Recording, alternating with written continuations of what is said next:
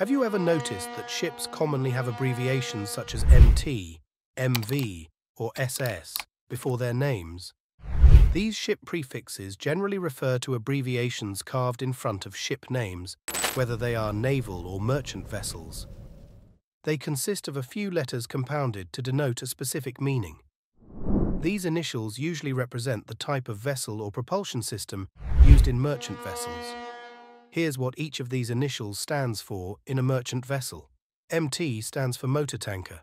This type of vessel is a tanker propelled by an engine rather than by sail or steam.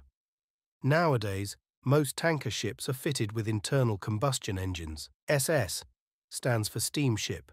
This type of vessel is powered by steam. In the past, all ships were propelled by steam, usually generated by burning fossil fuels such as coal or oil. Today, LNG ships are still propelled by steam, but they are fitted with steam turbines for propulsion power. The steam is generated by main boilers, which are fed marine fuel. MV stands for motor vessel. This is a general term that can be used to refer to all types of non-tanker or dry cargo ships powered by an internal combustion engine. NS stands for nuclear ship. Yes, merchant ships can run on nuclear power, such as icebreaker ships. RV is for research vessel. These ships explore the oceans like underwater detectives. PSV stands for platform support vessel. They're like handy assistants for offshore platforms. AHT stands for anchor handling tug. These ships help out with anchors and towing ships. DSV stands for Diving Support Vessel. They're like underwater vehicles, helping divers explore the deep sea.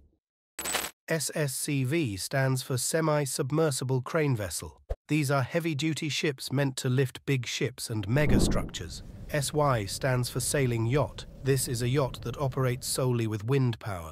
And MY stands for Motor Yacht, or a yacht with a motor or an engine for propulsion naval ship prefixes are extensively used to shorten longer titles into accessible short forms for convenient use. His, Her Majesty's ship, is an example of the long headings used in the Royal Navy, and ship names such as HMS have become everyday use. In the US, naval ships get USS, United States ship. It's the American stamp of naval pride.